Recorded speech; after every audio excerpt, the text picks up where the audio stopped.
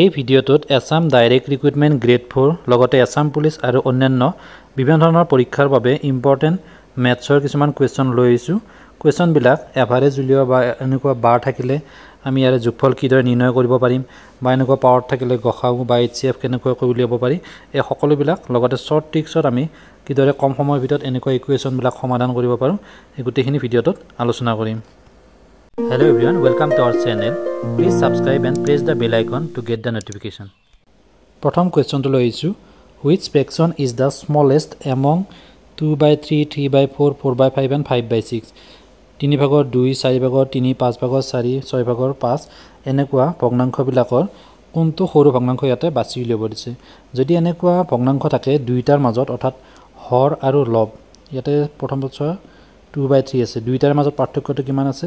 দুই আৰু তিনিৰ মাজত পাৰ্থক্যটো ওৱান নেক্সটটোত চোৱা থ্ৰী বাই ফ'ৰ তো এইটোতো পাৰ্থক্য আছে ওৱান দুইটাৰ মাজত হৰ আৰু লবৰ মাজত পাৰ্থক্য যদি ওৱান থাকে আৰু লবটো যদি হৰটোতকৈ সৰু হয় অৰ্থাৎ প্ৰকৃত ভগ্নাংশ হয় তেতিয়া আমি এইবিলাক হৰণ কৰি নোচোৱাকৈ ডাইৰেক্টলি সৰু কোনটো বা ডাঙৰ কোনটো ক'ব পাৰোঁ। অৰ্থাৎ লবটো যদি সৰু আছে তেনেহ'লে সেই ভগ্নাংশটোৱে সৰু হ'ব। অৰ্থাৎ ইয়াতে আমাৰ চোৱা তিনি ভাগৰ দুই এইটো হ'ব সৰু আটাইতকৈ। অপশ্যন এইটো হৈ যাব কাৰেক্ট এনচাৰ আৰু ডাঙৰ বুলি ক'লে ফাইভ বাই ছিক্স এইটো হ'ব ডাঙৰ।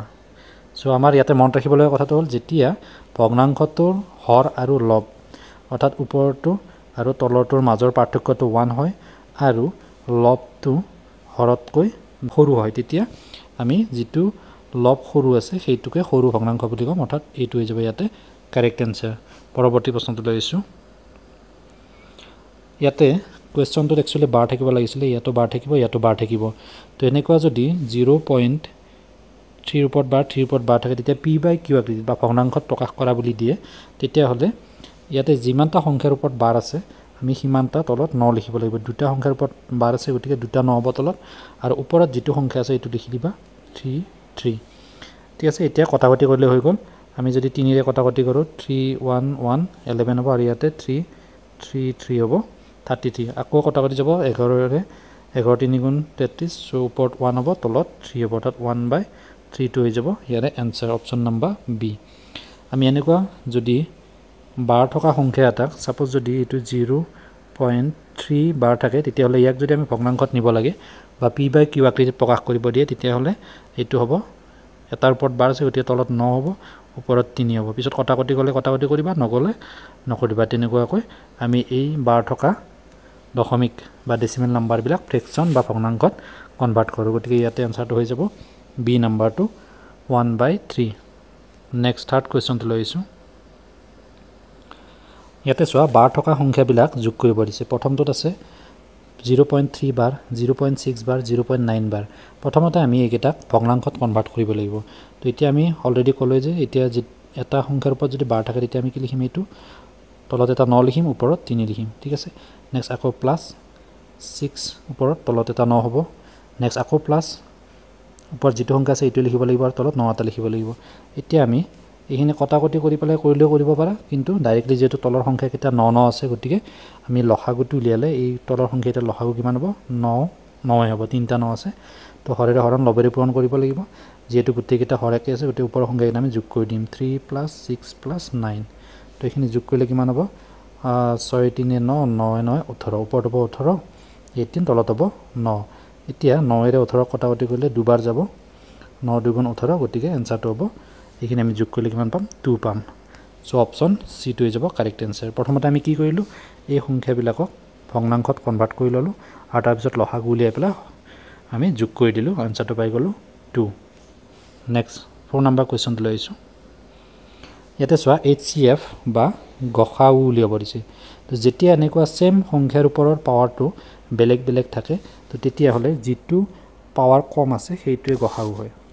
কিন্তু সংখ্যাকেইটা একে থাকিব লাগিব। ইয়াতে চোৱা গোটেইকেইটা ছিক্সৰ ওপৰত আছে ছিক্সৰ ওপৰত আছে। গতিকে ছিক্স টু দি পাৱাৰ এইবিলাক এইট নাইন ফাইভ টু এইটো। অৰ্থাৎ ছিক্স স্কুৱেৰটো হ'ব। কাৰেক্ট এনচাৰ গসাও হৈ যাব ছিক্স স্কুৱেৰ যদি এনেকুৱা থাকে five to the power four next five square next five cube তেতিয়া কি হ'ব? আমাৰ যিটো স্কুৱেৰ আছে অৰ্থাৎ সৰুটো হৈ যাব গসাও এই বেজবিলাক একে থাকিলে পাৱাৰটো চাই পেলাই আমি ডাইৰেক্টলি এনচাৰটো লিখিব পাৰোঁ।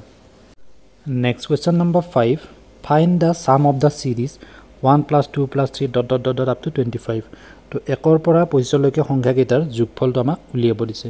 তেনেকুৱা যেতিয়া নেচাৰেল নাম্বাৰবিলাক যোগ কৰিব দিয়ে তেতিয়া এটা ফৰ্মুলা আছে ফৰ্মুলাটো হৈছে N into N plus one by two অৰ্থাৎ ইয়াতে আমাৰ এনৰ ভেলুটো হৈ যাব টুৱেণ্টি ফাইভ যদি আমাক কয় ওৱানৰ পৰা ফিফটিলৈকে তেতিয়া এনৰ ভেলুটো হৈ যাব ফিফটি তো ইয়াতে আমি এনৰ ঠাইত টুৱেণ্টি ফাইভটো লিখিম। টুৱেণ্টি ফাইভ ব্ৰেকেটৰ ভিতৰত হ'ব টুৱেণ্টি ফাইভ প্লাছ ওৱান অৰ্থাৎ টুৱেণ্টি ছিক্স বাই টু তো এইখিনি আমি এইফালে লিখিলে হ'ব twenty five into twenty six যোগ কৰিলে আমি টুৱেণ্টি ছিক্স পাম। টুৱেণ্টি ফাইভ প্লাছ ওৱান এতিয়া দুয়েৰে এইটো যদি কটাকটি কৰোঁ টুৰে এইটো কাটিলে টু ওৱান জা টু টু থ্ৰী জা ছিক্স অৰ্থাৎ তেৰ দুগুণ ছাব্বিছ।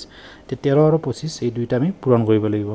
তো তেৰ পাঁচ গুণ পঁয়ষষ্ঠি ছিক্সটি ফাইভ ছিক্সটি ফাইভ হ'লে ফাইভ হ'ব ছিক্স কেৰি হ'ব। নেক্সট তেৰ দুগুণ ছাব্বিছ ছাব্বিছৰ লগত ছয় যোগ কৰিলে হ'ব থাৰ্টি টু অৰ্থাৎ তিনিশ পঁচিছ হ'ব আমি যোগ কৰিলে অপশ্যন নম্বৰ বিটো হ'ব কাৰেক্ট এনচাৰ এনেকুৱাকৈ যদি আমাক ছাপ'জ টুৱেণ্টি ফাইভলৈকে নিদি পেলাই আপ টু প্লাছ হাণ্ড্ৰেডলৈকে বুলি কয় তেতিয়া কি হ'ব? এনৰ ঠাইত আমি হাণ্ড্ৰেড লিখিম তাৰপিছত হাণ্ড্ৰেড প্লাছ ওৱান অৰ্থাৎ এশ এক তলত দুই হ'ব এশৰে কটাকটি কৰিম তাৰপিছত আমি পূৰণ কৰি পেলাই এনচাৰটো পাই যাম।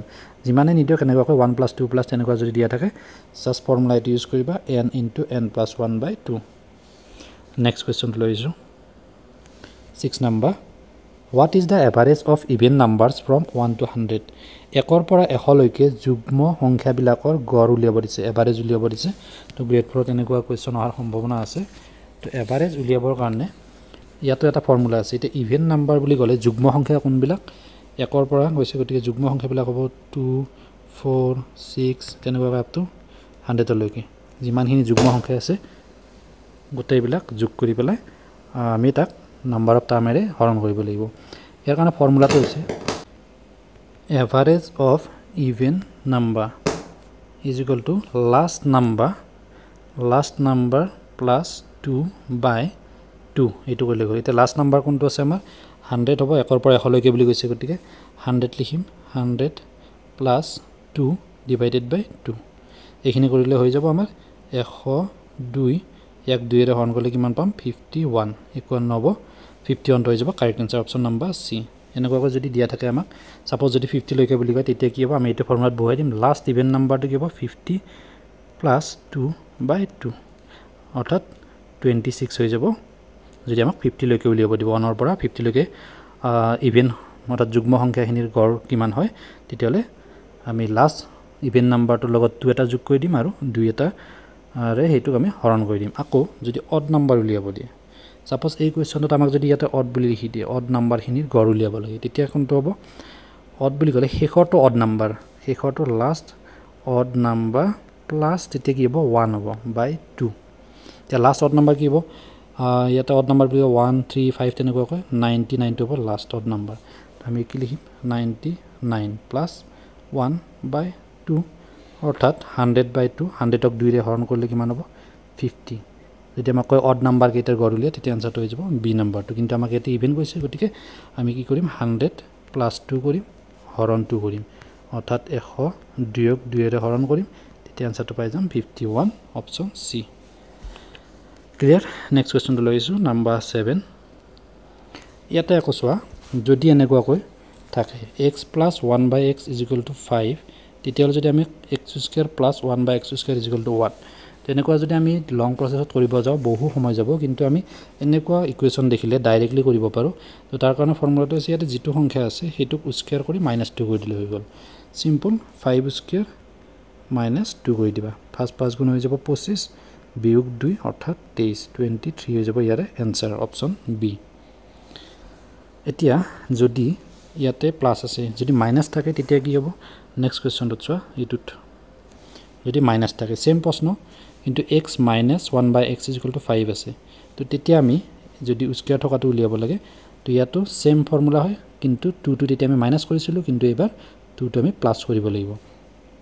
অৰ্থাৎ ফাইভক আমি স্কুৱেৰ কৰিম ফাইভ স্কুৱেৰ তেতিয়া কি কৰিছিলোঁ মাইনাছ টু কৰিছিলোঁ এইবাৰ প্লাছ টু কৰিম। এতিয়া পাঁচ পাঁচ গুণ হৈ যাব পঁচিছ টুৱেণ্টি ফাইভ প্লাছ টু অৰ্থাৎ টুৱেণ্টি ছেভেন হ'ব ইয়াৰে এনচাৰ অপশ্যন নম্বৰ ডি তো একেবাৰে ইজি হয়।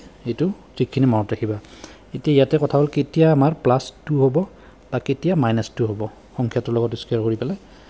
যেতিয়া দুয়োটা প্লাছ প্লাছ থাকে তো এইটোতো প্লাছ থাকে এইটোতো প্লাছ থাকে তেতিয়া আমাৰ দুইটো মাইনাছ হ'ব। বাকী ক্ষেত্ৰত যদি ইয়াতে মাইনাছ থাকে আৰু ইয়াতে প্লাছ থাকে তেতিয়াহ'লে প্লাছ টু হয়। যদি প্লাছ থাকে মাইনাছ থাকে তেতিয়াও প্লাছ টু হ'ব। আকৌ যদি মাইনাছ মাইনাছ থাকে তেতিয়াও প্লাছ টু হ'ব।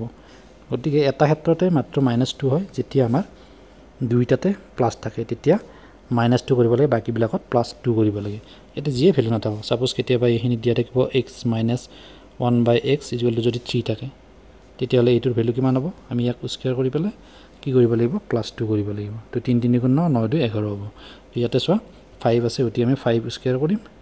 পাঁচ পাঁচ গুণ পঁচিছ লগত দুই যোগ কৰি দিম সাতাইছ হৈ যাব। এনচাৰ অপশ্যন ডি হৈ গ'ল। আৰু যদি দুইটাতে প্লাছ থাকে ইয়াতো প্লাছ ইয়াতো প্লাছ থাকে তেতিয়া আমি কি কৰিম?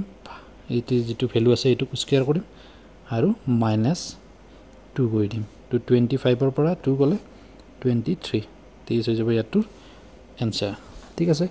নেক্সট কুৱেশ্যনটো লৈ আহিছোঁ নাম্বাৰ নাইন এইখিনি অলৰেডি ক'লোৱে। আমি যেতিয়া অড নাম্বাৰ্ছবিলাকৰ এভাৰেজ বা গড় উলিয়াওঁ তেতিয়া কি আছিলে ফৰ্মুলাটো কৈছিলে যে লাষ্ট অড নাম্বাৰ এতিয়া ওৱানৰ পৰা ফৰ্টি ফাইভলৈকে লাষ্ট অড নাম্বাৰ কোনটো হ'ব? ফৰ্টি ফাইভটো এটা অড বা অযুগ্ম সংখ্যা।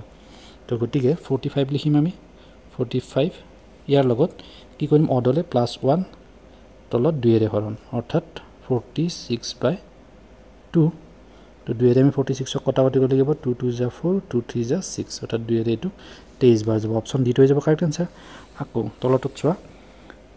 ইয়াতে কৈছে ওৱানৰ পৰা ফিফটিলৈকে যুগ্ম ইভেন সংখ্যা। ইভেন সংখ্যালৈ কি হ'ব আমি? লাষ্ট ইভেন নাম্বাৰ ফিফটি আছে। ফিফটি লিখিম। প্লাছ কি কৰিম আমি? টু কৰিব লাগিব। ইভেন হ'লে টু প্লাছ আৰু দুয়েৰে হৰণ কৰি দিম। এতিয়া ফিফটি টুক দুয়েৰে হৰণ কৰিলে কিমান হ'ব? ফিফটি টু দুয়েৰে হৰণ কৰিলে হ'ব টুৱেণ্টি ছিক্স অৰ্থাৎ অপশ্যন ডিটো হৈ যাব কাৰেক্ট এনচাৰ ঠিক আছে ইয়াতে আমি কম সময়ৰ ভিতৰত কিদৰে আমি মেথছৰ এনেকুৱা ধৰণৰ কুৱেশ্যনবিলাক ছল্ভ কৰিব পাৰোঁ সেইখিনি কৰি দেখুৱালোঁ। আশা কৰিছোঁ ভিডিঅ'টো বুজি পাইছা। যদিহে ভাল লাগিছে তেনেহ'লে লাইক কৰিবা। আৰু প্ৰথমবাৰৰ বাবে যদি চেনেলটো চাই আছা তেনেহ'লে ছাবস্ক্ৰাইব কৰিবা। আৰু যদি ফেচবুক পেজত চাই আছা তেনেহ'লে আমাৰ পেজটো ফ'ল' কৰি ৰাখিবলৈ নাপাহৰিবা। ধন্যবাদ।